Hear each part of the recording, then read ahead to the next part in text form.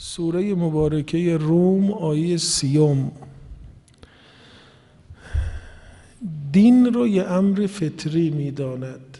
اگر دین فطری باشد اعتقادات دینی هم فطری خواهد بود چون جزئی از دینه. حالا فطرت چیست که دین فطری است؟ فطرت بر وزن فعلت دیگه یادونه شعر ابن مالک در الفیه می‌گفت بله و فعلتون لمرتن کجلسه و فعلتون لهیئتن کجلسه درسته؟ اگر وزن وزن فعله باشد برای مره به کار میرد یک بار. اگر فعله باشد به کسر فا این برای هیئت چگونگی کیفیت مثل جلسه چگونه نشستن یجلس رسول الله جلست العبد. همانند عبد می نشست کیفیت نشستن فطرت فعلت دیگه یعنی کیفیت. از ماده فتره است. فتره به معنا خلقت.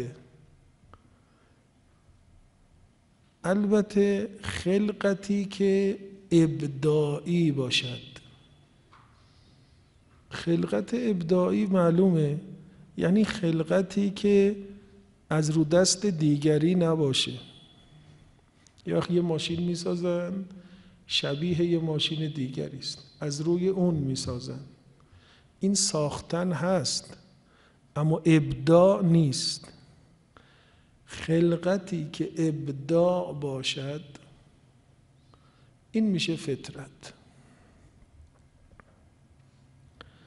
ابن عباس میگد من معنای ف...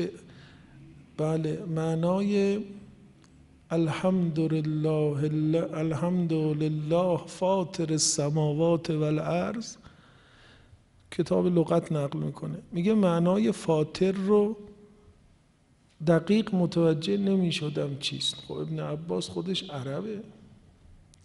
میگه تا اینکه دو تا عرب آمدن پیش من نزاع کردند.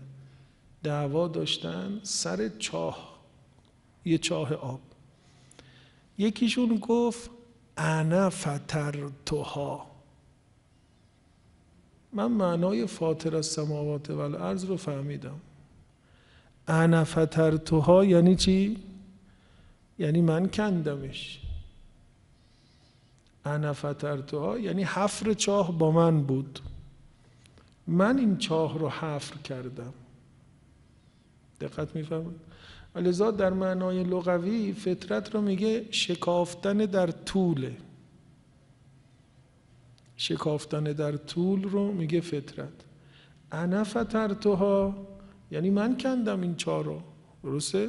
من من آفریدم این چاه را پس مال من است. وقتی من کندم مال من دیگه. میگه من فهمیدم فاطر از سماوات او وقت معنیش یعنی چی؟ آفرینش چاه رو به خودش نسبت میگه من کندم چاه پس من این رو درست کردم. فاطر السماوات و الارض یعنی خالق السماوات و الارض یعنی اونی که آسمان ها و زمین رو آفرید آفرینشش هم از رو دست کس دیگری نبود. تقلیدی نبود. آفرینشش آفرینش ابداعی بود. خودش خلق کرد ابداعا. توجه فرمودید. این می‌شد معنای چه؟ این می‌شد معنای فطرت که به شما عرض کردم. حالا اگر بخواهید که لغت فطرت رو پس معنا کنید فطرت شد ابداع و خلق و آفرینش اما خلق و آفرینش ابداعی نه تکراری. نه بفرمایید از رو دست کس دیگری. ابداع کرده باشد. مشابه نداشته باشد.